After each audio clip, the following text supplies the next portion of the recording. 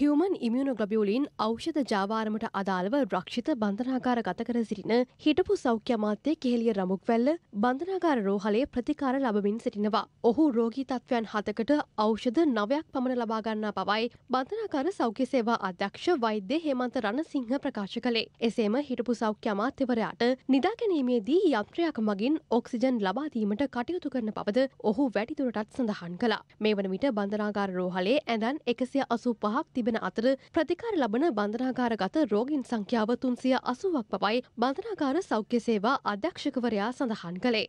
සෞඛ්‍ය ශේත්‍රයේ පැවති ගැටලුකාරී තත්ත්වයන් මෙන්ම බාල ඖෂධ නිසා රෝගී ජීවිත අකාලයේ අහිමි වුණා. මේ නිසා ඒ ජනතාවට නිසි සාධාරණයක් වහ ඉටු විය යුතු බවයි සමස්ත ලංකා හෙද සංගමය පවසන්නේ.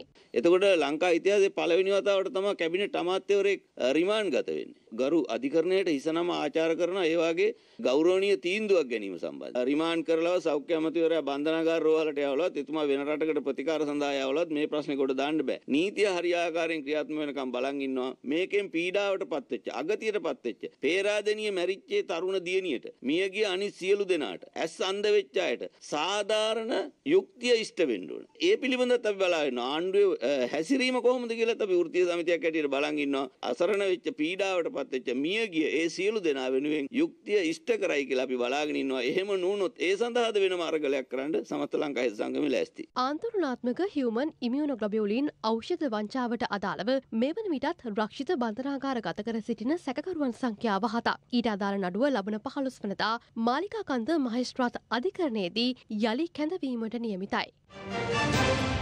රටේ ලෝකෙ සිදුවන උණුසුම්පුව දැනගන්න සියත නිවස් YouTube චැනල් එක අදම සබස්ක්‍රයිබ් කරන්න.